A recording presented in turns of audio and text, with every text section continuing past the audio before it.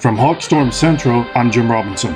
As Hurricane Zelda barrels through Cuba, Governor Scott has issued an emergency evacuation order for coastline residents from Key West to Sarasota. Landfall is expected in 72 hours with wind speeds in excess of 140 miles per hour. Seek inland shelter now.